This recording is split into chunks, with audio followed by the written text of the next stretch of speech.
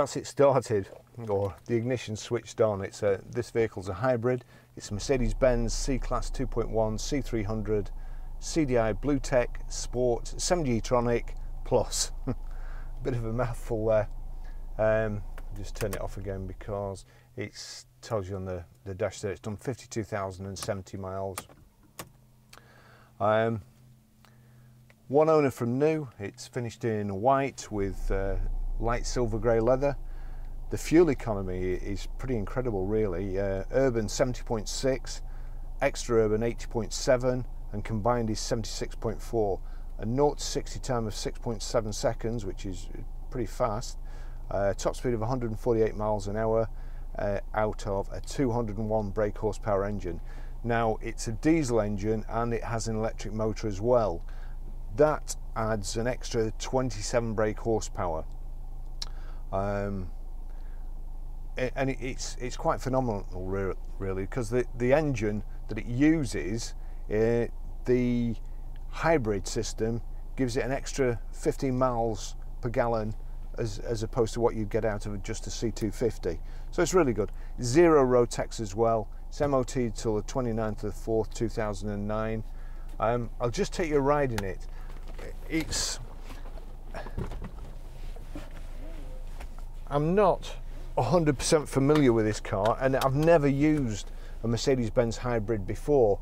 Now just driving down here, I, wish I'd have I wish I'd have driven it for a, a, a, few days so I could get used to it and then I'd be able to explain better or put it into words better. But there was a few things I, I noticed. Um, it, I'll, I'll, try and explain as we, we, go along. I've used hybrid cars before and electric cars, and you usually notice quite a lot of braking from the electric motors as you, you when the motor's kind of driven backwards, it acts as a generator and, and puts a charge back into the battery. So normally your car slows down. Like like now, I, I can feel it, um, kind of a bit of braking assistance see, just get on the road. But when you're on the motorway, it has this um, facility, I suppose, of cruising and being helped along by the motor. And you take your foot off the accelerator and, and you would expect to start slowing down, but you don't. You, it's almost like it's cruise control. And um, it's the electric motor working. Apparently, the, the motor is between the uh, the gearbox and and and the drive, and uh, it can uncouple the diesel engine and just work off the motor.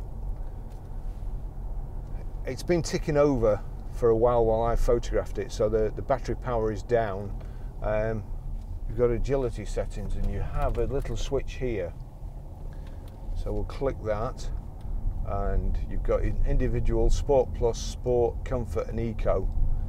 So uh, we'll go into eco. So we're in eco there. Eco comfort eco. And we're it's just lunchtime again and uh, I'll be stuck in all the traffic that's giving you your fuel economy.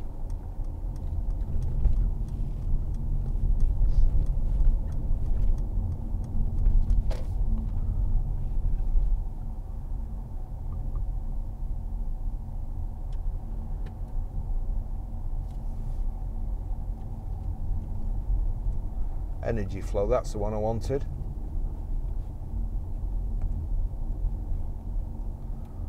Just showing you what's happening, what it's using, where the power's going.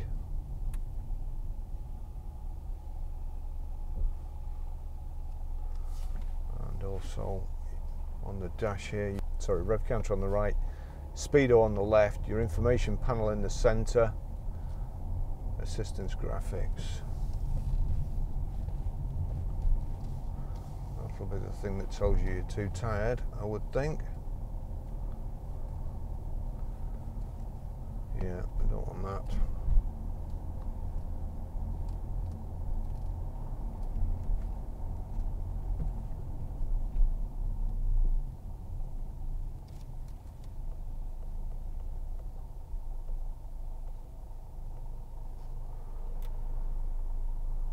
trip counter is showing the energy flow there as well. We're up to 88%.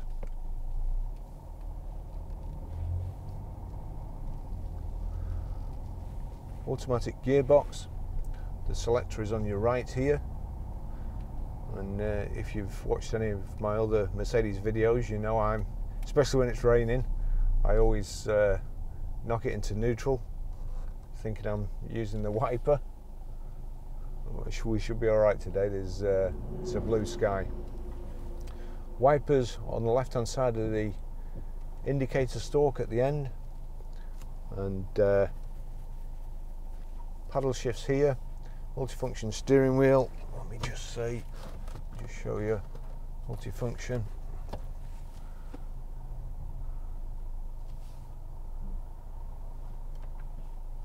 Power folding door mirrors. I, a, a lot of the hybrids, the battery takes up some of your luggage space. This seems to be quite, um, it just seems like a normal Mercedes C-Class estate. It's a nice flat loading bay at the back, plenty of room, the rear seats fold down, and um, split 60-40 there, so nice and comfortable. We've got what uh, I'm assuming this is Artico leather. Air conditioning, it's also heated seats, three position heated seats here.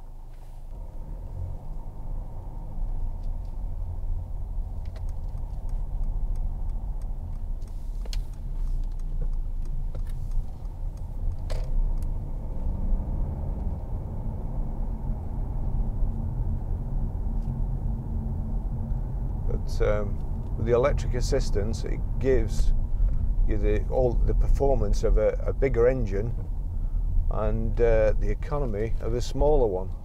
So it's best of both worlds, really. Nice and smooth to drive. It has electric operation of the seats. That's up and down and the reclining function but backwards and forwards you have to pull a little catch. Just take you up the motorway and try and show you the sailing uh, mode.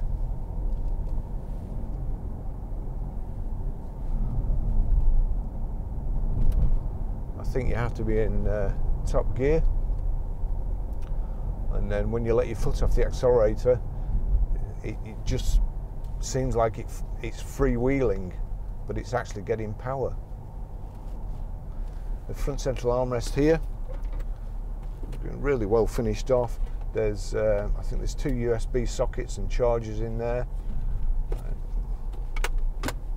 and some load space. Oops, I thought it was getting warm. I've got a heated seat on. A CD radio. So Navi, radio, media, telephone. And then you've got this kind of trackpad here that you can move about or the selector. I think the trackpad idea was made for somewhere where the roads are a heck of a lot smoother than they are in the UK. Because as you as you're trying to track something and you hit a bump, you, your fingers going all over the place.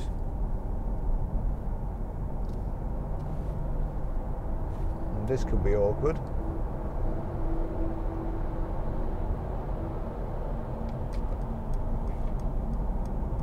Thanks for pulling out, mate. Couldn't understand why you didn't.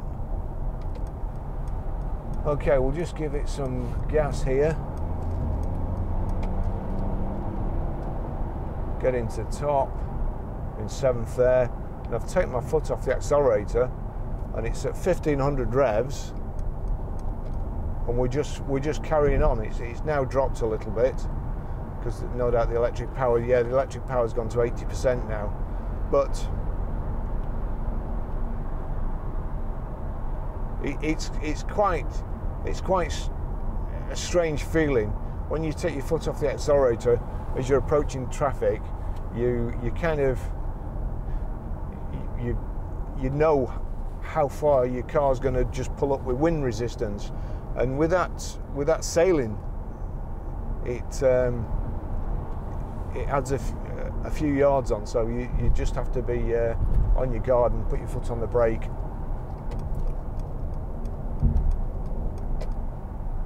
Actually, I never got to 70 miles an hour.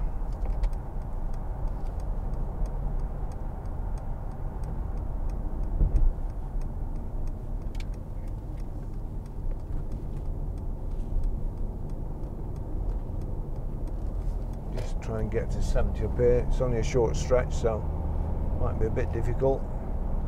Getting to top. So seventh.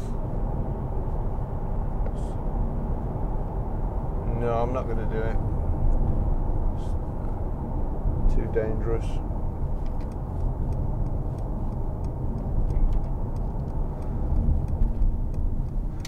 I'll be uh, I'll be using this car over the weekend, so if I uh, find out how to use it better, I might just uh, make a an add-on video.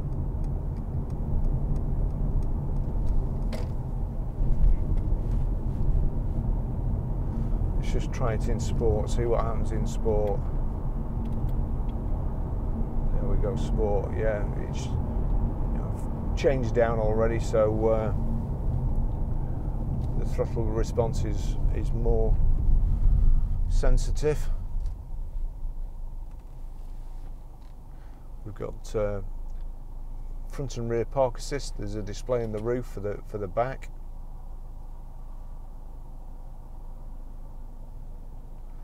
And we've also got a, a reversing camera, which I should have probably shown you before. I won't uh, put it in reverse here.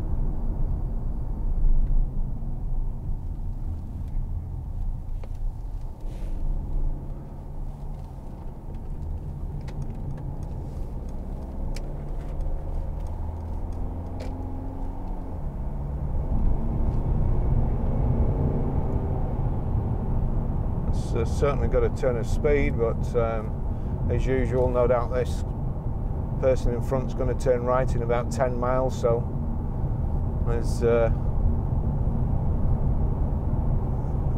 pulled out into the outside lane.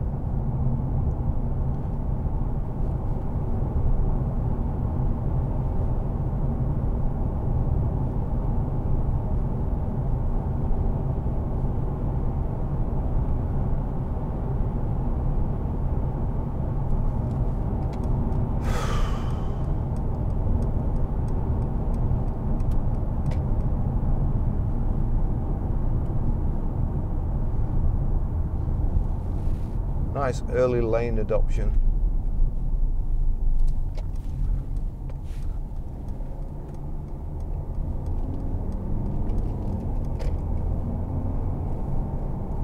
Great automatic gearbox and you've got paddle shift override here. And if I let uh, my foot off the accelerator, you'll see there that the power's being recuperated by the, the battery. It's uh, charging it again. It uh, goes up on the dash there. It's at 81% at the moment.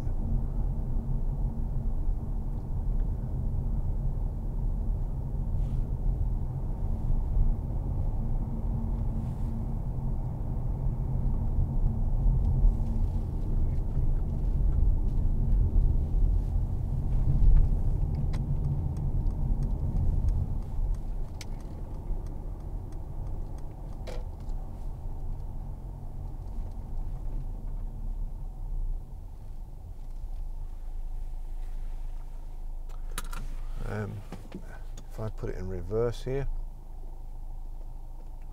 there you go. You've got the uh, like rugby goalpost. Turn the steering wheel. That shows you where you're going to go. That's it. I'll finish the test drive here. Um, if you're watching this video on YouTube, if you look up in my left or your right, there's a little eye and there'll be um, a 360 interior scan of this vehicle. There'll be a website trailer, a full video, and this road test review. Um, if it's been of any benefit to you, then please uh, click the like and subscribe buttons. Thank you.